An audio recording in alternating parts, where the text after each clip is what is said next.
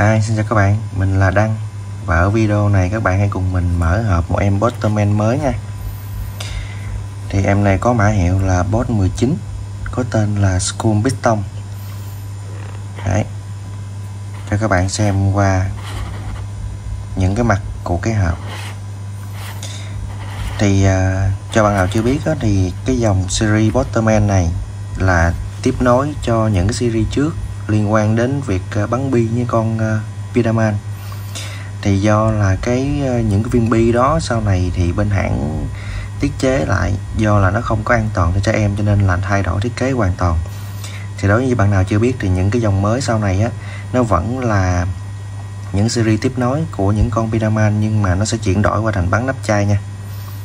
Cái chữ bottle này nó cũng liên quan đến những cái chai nước và những cái nắp chai thì cái con này là của những cái phiên bản đầu tiên của cái series này. Đấy.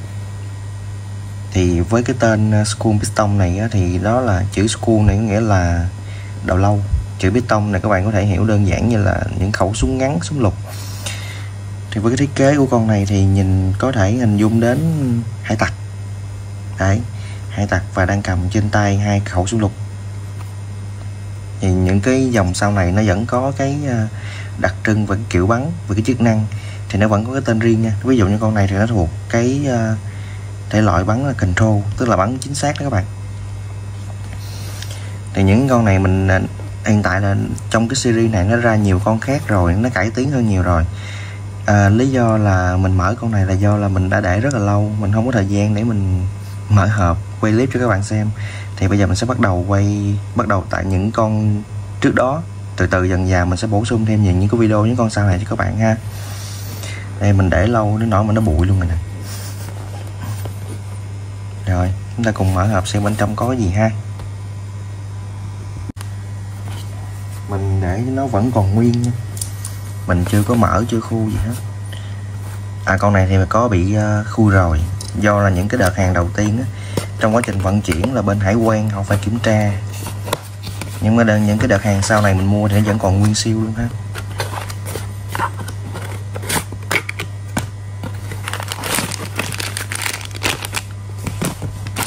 Ở đây chúng ta sẽ có cái à, phần thân của nó nè.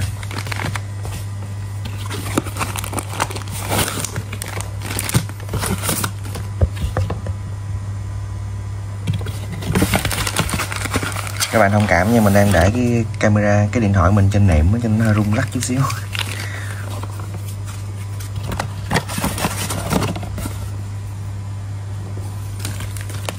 Này là tất cả những gì có bên trong.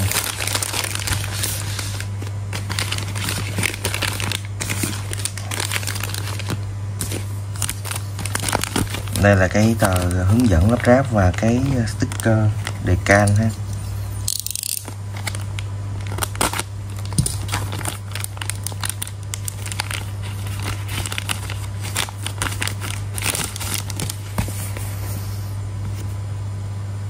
Cũng khá nhiều chi tiết nha. Nhưng mà nó sẽ đỡ một cái là những cái chi tiết này là đều là những cái mảng lớn. Cho nên là khi mình dán nó cũng sẽ đỡ cực hơn. Có những cái con, có những cái chi tiết đề can nó rất là nhỏ mà khi mình dán rất là cực nha. Con này thì mình nhìn có vẻ ổn nè. Đề can của cái ờ, cái dòng Botto này rất là đẹp ha. Nó phủ bóng lên luôn nè.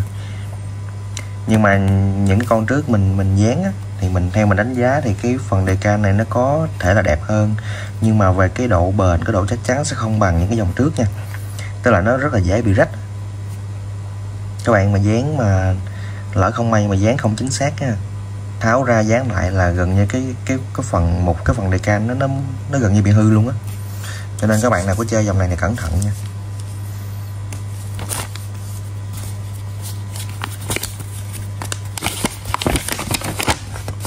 Đây là sách hướng dẫn lắp ráp thì uh, những cái dòng này ráp thì nói chung thì nó cũng không có khó.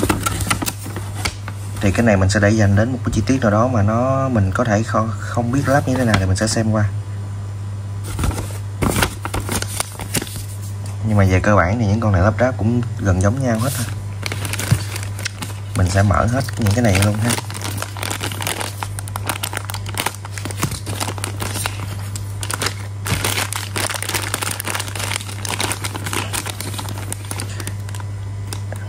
Cái dòng Bottoman này á, thì cho những bạn nào mà mới tiếp cận á, thì à, nên chọn mua những con đầu tiên nha. Những con đầu tiên thì nó rẻ, hiện tại là bây giờ giá đang giảm rất là nhiều rồi. Và ở My Kingdom thì trước đây có nhập hàng về bán á, những cái con dòng đầu tiên. Nhưng mà sau này à, từ cái à, đợt dịch cho đến bây giờ mình không thấy bên bên My Kingdom họ nhập hàng nữa. Chỉ còn những con cũ thôi. Nhưng mà những con cũ đó bây giờ cũng rất là rẻ. Các bạn có thể mua về để chơi, trải nghiệm thôi. Lý do mình nói dễ tiếp cận là những cái phần thân, phần giáp, hầu như con nào cái cách lắp ráp nó cũng giống nhau hết nó sẽ dễ cho các bạn chơi hơn. Chỉ khác nhau cái phần giáp thôi.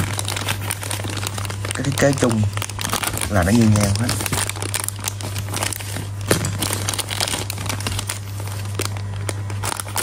Cái dòng này nó làm theo kiểu mỗi một bộ phận, mỗi một món nó làm, nó nằm trong cái bọc riêng đó. mình phải cắt nhiều. Cũng hơi mất canh bây giờ thì nó không còn xài cái ờ, vị ráp như những cái dòng pyjama ngày xưa nữa rồi. Hồi trước đây mình phải cắt ráp, còn bây giờ thì nó riêng lẻ hết. Mình chỉ cần ờ, lắp dán đề canh và lắp vào thôi.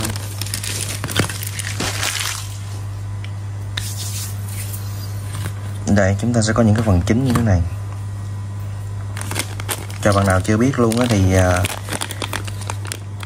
tuy là nói là dễ ráp nhưng mà cái phần uh, cái phần thân á các bạn ráp cũng cẩn thận nên chú ý nha. Là do là chúng ta phải ráp cái cái uh, hai cái phần kho trước hai cái phần ngàm trước vào bên trong cái thân. Mà cái thân mà khi đã gắn vô rồi á thì tháo rất là khó nha. Cho nên là cái bước đầu tiên ráp cái thân các bạn cứ chậm rãi thôi. Thì kèm theo đó là chúng ta sẽ có được hai cái nắp chai. Một nắp để bắn và một nắp để gắn trên đầu phần thân ha. Thì à, những cái con trước á, thì mỗi một con sẽ có một cái nắp nó có một cái lơ một cái logo riêng cho mỗi con luôn. Nhưng mà con này thì mình thấy là nó không có riêng ha. Hai cái nắp hai cái cái hình nó giống nhau hết luôn. Cái này thì à, mình cũng lấy ra luôn ha.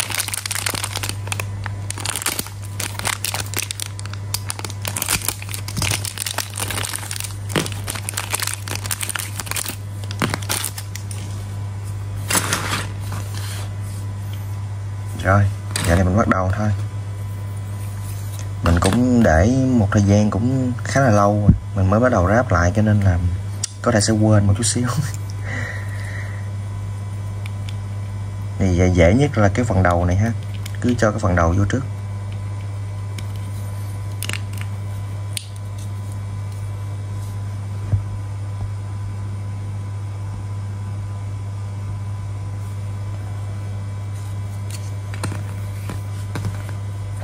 Đây là cái phần thân dưới. Phần thân dưới thì chúng ta sẽ gắn hai cái ngàm yêu trước ha. Với là cho bạn nào chưa biết luôn thì cái phần ngàm của cái dòng mới này mình, theo như mình thấy là nó sẽ không có quá nhiều điểm khác biệt giữa các con nha. Thì hầu như con nào nó cũng chung một cái kiểu ngàm gì nè. Có chăng khác là khác chút xíu về cái phần góc cạnh, hoặc là có những con á thi nhiều lực bắn thì nó sẽ có bổ sung thêm cái phần cao su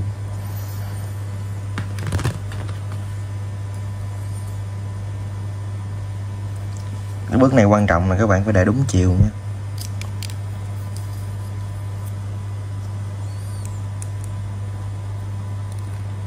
Đó.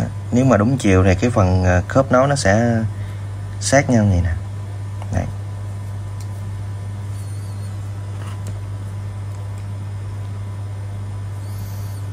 này như vậy là đúng rồi nè thì những, những cái con đầu tiên lần đầu tiên mình ráp á mình có bị gắn nhầm á cái này mình gắn bị ngược nè. Khi mình ráp cái phần thân vô rồi mình tháo ra rất là cực luôn các bạn. Cho nên mình muốn um, lưu ý các bạn về cái phần đó ha. Và đặc biệt ở cái phần trigger nữa nè thì à, cũng phải gắn vô trước nữa. Lỡ mà gắn sai gắn lại rất là cực luôn. Nó chỉ đúng có một chiều thôi các bạn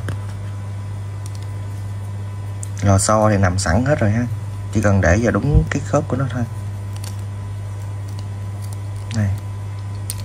Cũng may là mình vẫn còn nhớ cách ráp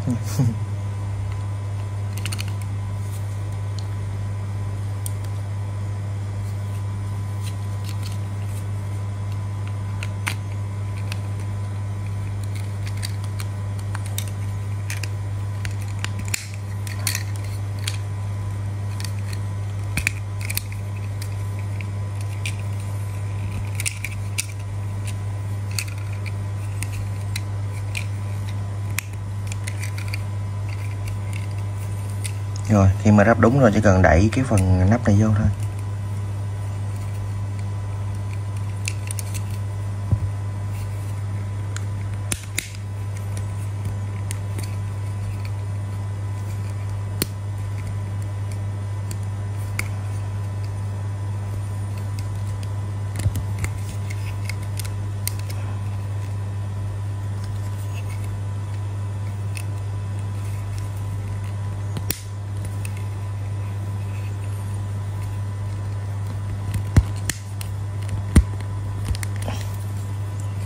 Tuy là mình ráp đúng rồi đó nhưng mà gắn vào vẫn cũng hơi khó khăn ha. Rồi ok. Thì các bạn nhớ giùm mình nghe nhớ một lần nữa nha là cái phần thân này khi mà rắn khi mà ráp vào được như vậy rồi đó thì hay à, khi mà các bạn tháo ra nó rất là nó, nó hơi khó nha. Nó không phải là hoàn toàn không tháo được nhưng mà nó sẽ hơi khó chút xíu. Cho nên khi ráp thì các bạn cẩn thận ha.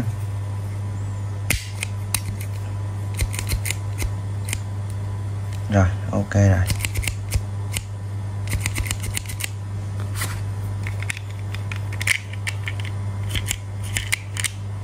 À không hình như là nó có vấn đề rồi các bạn ơi. Để mình xem lại cái nha. Rồi cuối cùng là mình cũng đã chỉnh sửa xong. À, mình bị gắn ngược cái chiếc gơ các bạn. À, lúc mình tháo ra thì cái à, cái phần chốt gắn cái ngàm này nó bị gãy luôn này kể ra thì cái nhựa này nó cũng không có bền lắm ha mình mở rất là nhẹ tay rồi đó.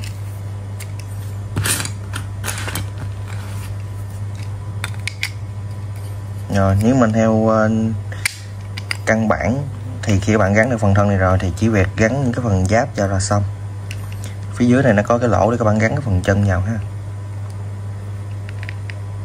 À, ngoài trước đây cũng có cái móc nữa nè. Thì uh, mình nghĩ là sẽ nó móc trước đi.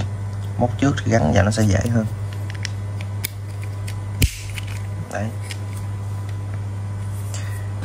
Những con này làm ra cái khớp nó rất là chắc.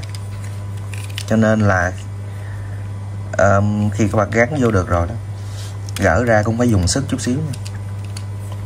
thì trên cái phần uh, cái ngàm này nó sẽ có cái chấu đưa ra nè ha. Thì trên cái tay hai cái tay nó sẽ có cái chỗ để mình trượt vô.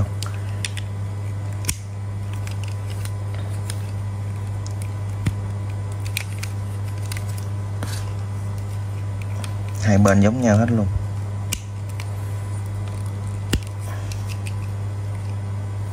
Này nó sẽ là như vậy. Nhìn cũng khá là ngầu ha. À chưa. Mình bị thiếu rồi.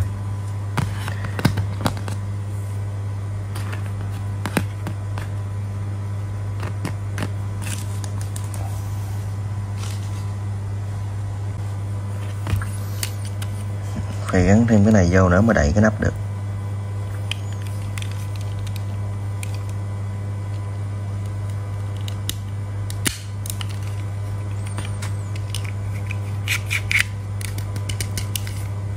Cũng dặn nắp như cái nắp chai thôi.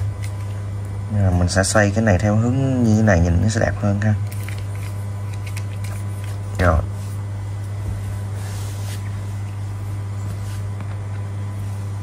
cái phần đầu lâu này thì à, gắn vào cái phần mũ này.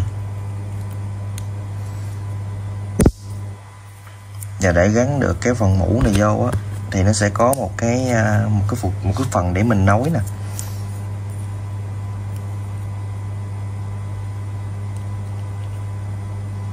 Này gắn như thế này.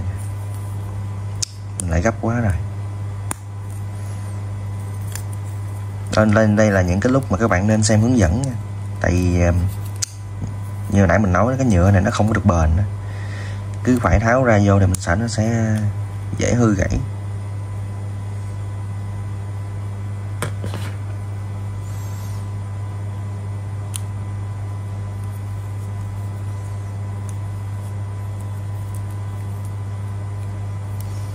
Để mình xem con về có đúng hay không không.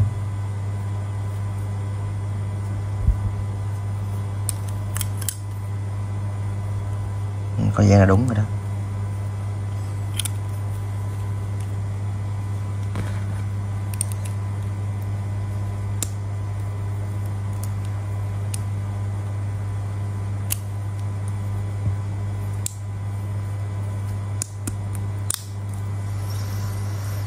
Rồi chính xác rồi các bạn ơi.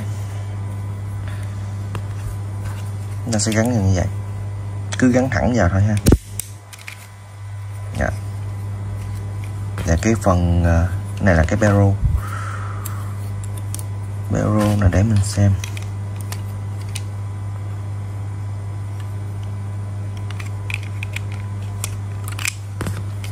Có thể là phải gắn trước khi gắn cái chân này đây cái lúc mà khó khăn mà mình nói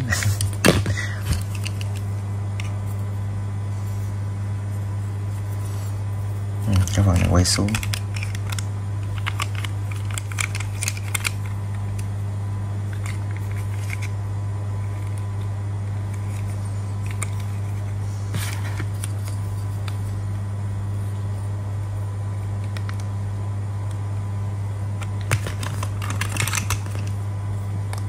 À phải gắn như vậy. Đây. Như vậy là chính xác rồi đó.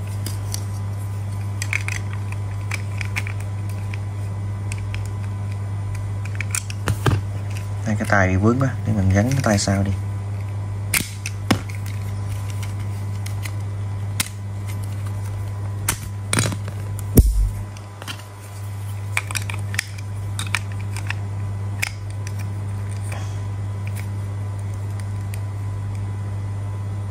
À không, nếu mà gắn như vậy thì cái tay một lát mình sẽ không gắn vô được.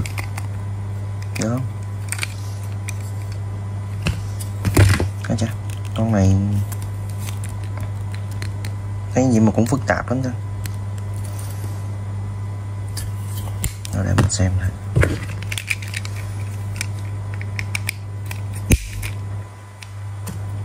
à như vậy được nè.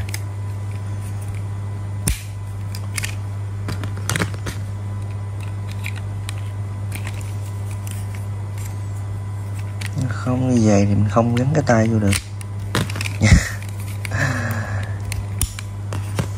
Để lâu quá mình bị gà quá các bạn.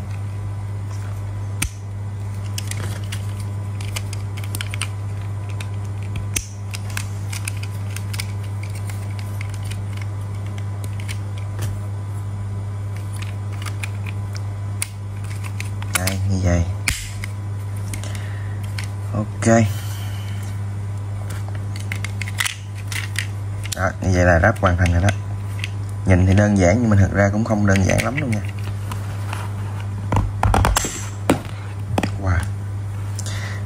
Cái con nắp chai này, tuy vậy nhưng mà bắn, cái lực bắn nó cũng mạnh lắm nha các bạn. Wow. cái nắp nó xoay dữ luôn.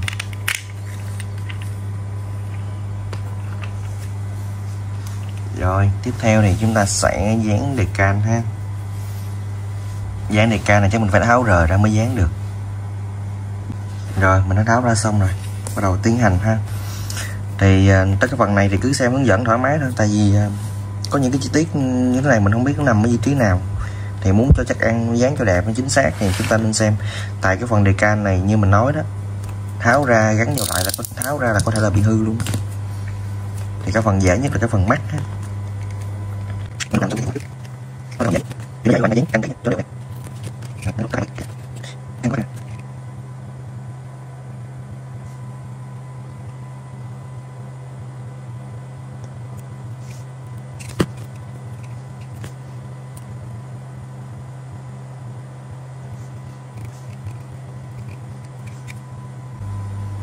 chúng ta xong cái phần đơn giản nhất rồi đó. Thì cái phần thân của con này là chỉ có dán cái đề canh mắt thôi ha. Còn lại là sẽ dán trên những cái phụ kiện này. Rồi, để mình xem hướng dẫn nha. Đây, thường trên những cái tờ hướng dẫn sẽ có những cái ờ, chỗ nó hướng dẫn mình dán đề can ha. Thì ở trên cái đề can mình có đánh số nè. Nếu cho bạn nào chưa biết thì trên nhà mỗi một cái miếng sẽ có số. Nó sẽ tương ứng với cái vị trí ở trên đây ha. Mình cứ dựa theo đó mình dán thôi.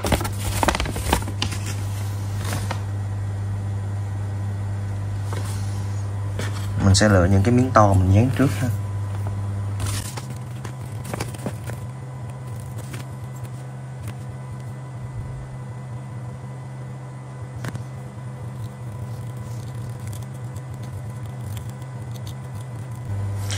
Mình hơi không thích cái phần này cho lắm là, là do là cái phần nhựa cái chỗ này nó có một cái gờ lên rồi nhưng mà vẫn phải dán đè luôn chứ nó không có chừa ra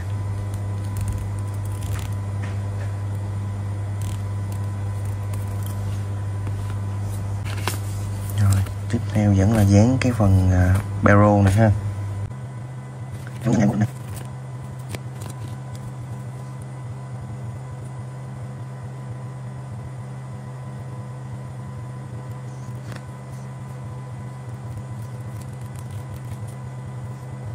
cảm nhận hơi em cảnh sát mới hơi chút xíu rồi em đang dán như vậy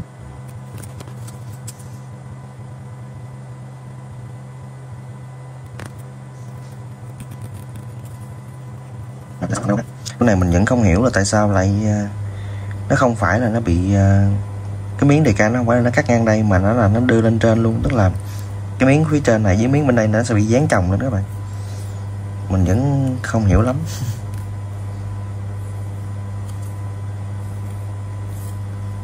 Bên đây dán đẹp hơn nè. Nó không đều nhưng mà mình cũng không dám gỡ nữa đâu. Hư á. Tiếp theo, nhiều nhất là cái phần tay này ha dán tay trái trước đi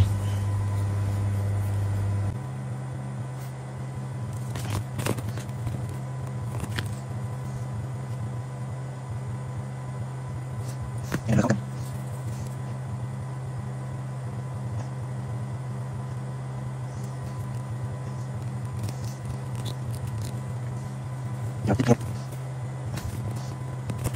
Còn này có cái khả năng dán ra được Này có Ừ, Không biết là thứ này Hay là không nhìn vậy Cái này đẹp và đây lúc đó lỏng ra Nhìn ra đẹp Cái này cái này cũng có thể dán nhiều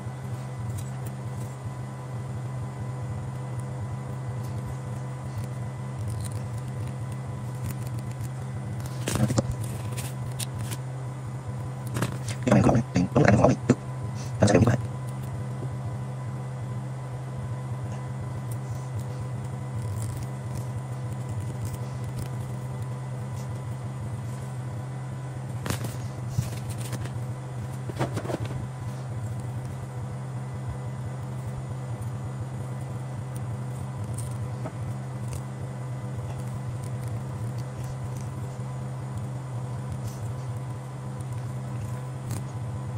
rồi xong được một bên tay rồi. Tiếp tục cái tay còn lại ha.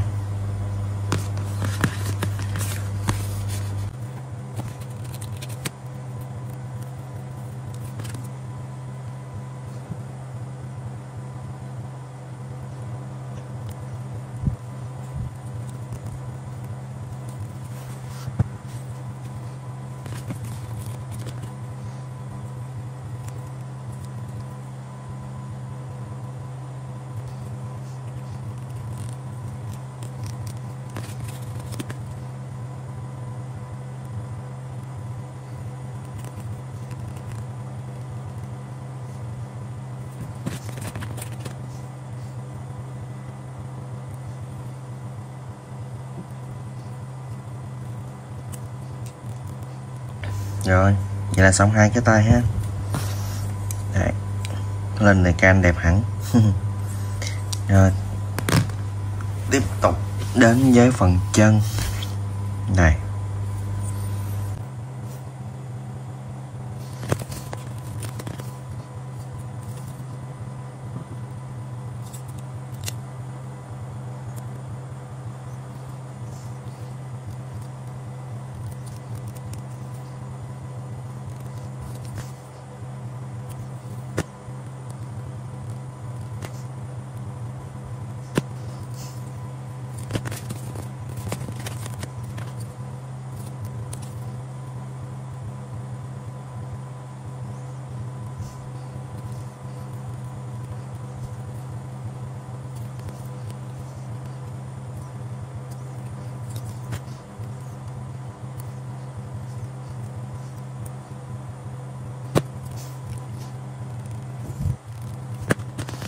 rồi, vậy là xong phần chân.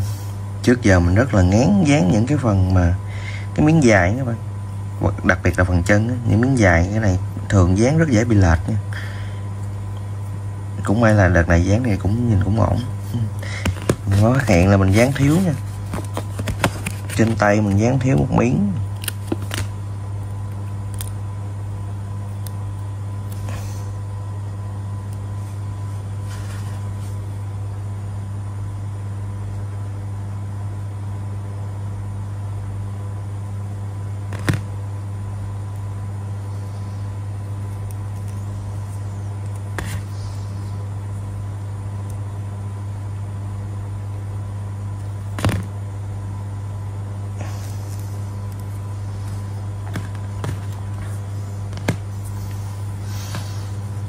Rồi và cuối cùng là đến cái phần đầu ha.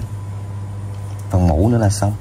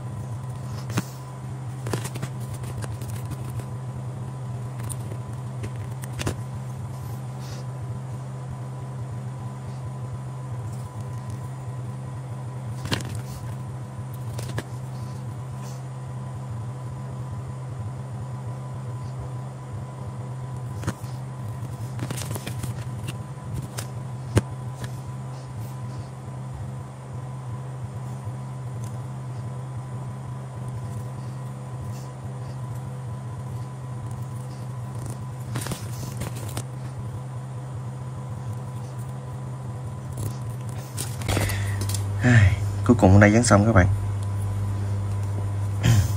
Bắt đầu mình sẽ gắn lại thôi.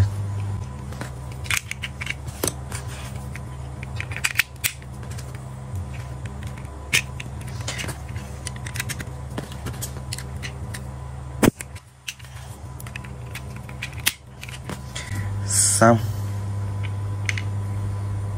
Lên đề can xong nhìn đẹp hơn hẳn ha. thật sự mà nói nha chơi ờ, những cái dòng như thế này á rap thì vui nhưng mà mình rất là ngán luôn luôn ngán những cái lúc mà lên đề can các bạn. Mặc dù là đề can của những cái dòng botto này rất là dễ dán rồi đó nha nhưng mà lần nào dán mình cũng phải gần như là nín thở luôn á. Vậy là mình đã hoàn thành xong cái video mở hộp lắp ráp và dán đề can cái mẫu Bottoman BOT19 mình có thể gọi gọn là bot 19 ha School Piston. Đây um, mình sẽ review chi tiết cái mẫu này cho các bạn ở những ở cái video sau. Và cảm ơn các bạn đã xem hết video của mình ha. À, nếu thương ủng hộ mình thì cho mình một lượt đăng ký nha và bấm thích video với mình. Mình sẽ ra video thường xuyên và liên tục hơn. Cảm ơn các bạn đã theo dõi nha. Hẹn gặp lại vào những video sau.